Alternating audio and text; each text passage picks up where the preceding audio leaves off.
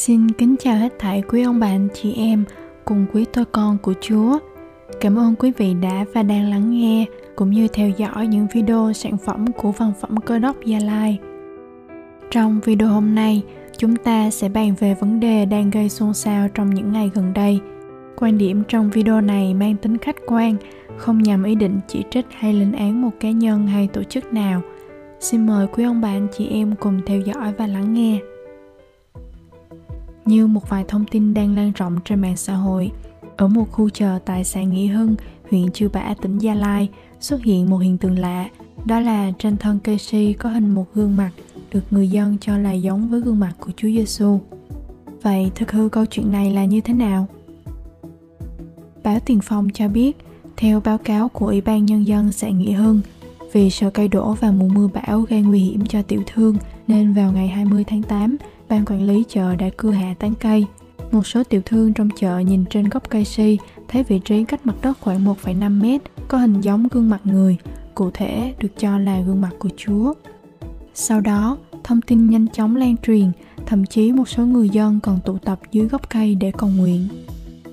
Chuyện không dừng lại ở đó, khi thông tin và hình ảnh ngày càng được lan truyền rộng rãi thì có đông đảo người dân tập trung lại dưới gốc của thân cây này để vái lạy, dân hương hoa, gửi gắm niềm tin yêu vào gốc cây si ấy.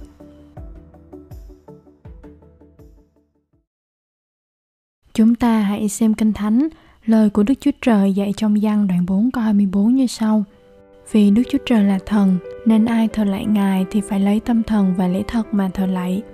Chúa Giêsu đã dạy cho người đàn bà Samari biết sự thờ phượng chân thật và đẹp lòng Đức Chúa Trời chính là sự thờ phượng bằng tâm thần và lễ thật – Ngài cũng khẳng định cho bà hiểu rõ bản thể của Đức Chúa Trời là thần.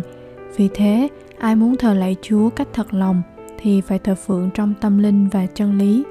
Sự thờ phượng mà Đức Chúa Trời tìm kiếm không phải ở nơi hình thức, khung cảnh, địa điểm hay con người mà chính là tấm lòng hướng về Chúa với cả tâm linh và trong lễ thật của lời Ngài.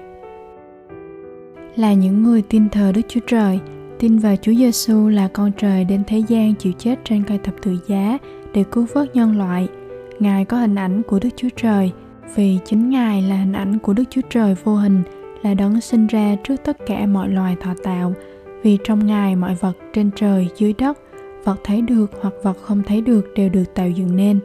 Kinh Thánh trưng dẫn trong Colosse đoạn 1 câu 15-16 Mặt khác, khi trong thân thể là một người ở thế gian, Chúa Giêsu đã phán dạy dân chúng rằng Ai đã thấy ta, tức là đã thấy cha, Kinh Thánh trưng dẫn trong gian đoạn 14 câu 9 Và thật phước cho những kẻ chẳng từng thấy mà đã tin vậy.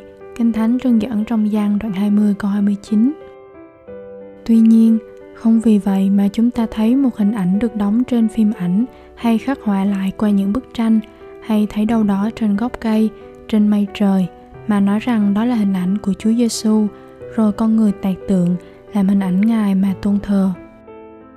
Có nhiều người lầm tưởng và đang thờ lại hình tượng mà vẫn cho như thế là đúng. Thánh kinh bảo con người sai và ngu dại vì đã đổi vinh hiển của Đức Chúa Trời không hề hư nát để lấy hình tượng của loài người hay hư nát.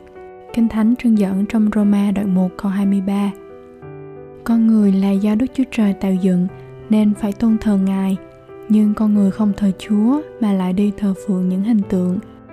Con người đã bỏ Đức Chúa Trời vinh quang để thờ lạy những hình tượng vô tri vô giác. Thật là một điều dại dột. Trong 10 điều răn của Chúa, có điều như thế này. Ngươi chớ làm tượng chạm cho mình, Cũng chớ làm tượng nào giống như những vật ở trên trời cao kia, Hoặc nơi đất thấp này, Hoặc trong nước, dưới đất. Ngươi chớ quỳ lạy các hình tượng đó, Và cũng đừng hầu việc chúng nó. Kinh Thánh trân dẫn trong suốt Egypto ký đoạn 20 câu 4 câu 5 Điều này càng khẳng định chúng ta không thể thơ lạy hay khấn nguyện trước hình tượng, dù đó được cho là hình ảnh của chúa đi chăng nữa việc này thật đáng buồn và không đẹp lòng đức chúa trời chính chúa giêsu cũng phán dạy và nhắc nhở các môn đồ của ngài rằng, khi ấy, nếu có ai nói với các ngươi rằng, kìa đấng Christ ở đây hay là ở đó thì đừng tin. Kinh Thánh trưng dẫn trong Matthew đoạn 24 câu 23. Vậy hãy tỉnh thức Đừng để những sự sai lạc lôi kéo dụ dỗ, hãy đặt niềm tin nơi lời hàng sống của Chúa, học biết Ngài qua Kinh Thánh, và luôn nhờ cậy Chúa Thánh Linh giúp đỡ, hướng dẫn chúng ta đi trong lễ thật và học biết về lời Ngài một cách thấu đáo, hầu cho qua đó đời sống chúng ta ngày càng giống Chúa Giêsu hơn trong sự yêu thương, khiêm nhường, nhịn nhục, mềm mại, tiết độ.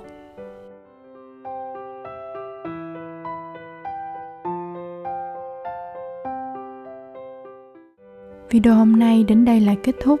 Xin cảm ơn quý ông bà anh chị em đã cùng theo dõi và lắng nghe. Xin Chúa Thánh Linh ở cùng, ban ơn thêm sức trên quý vị thật nhiều.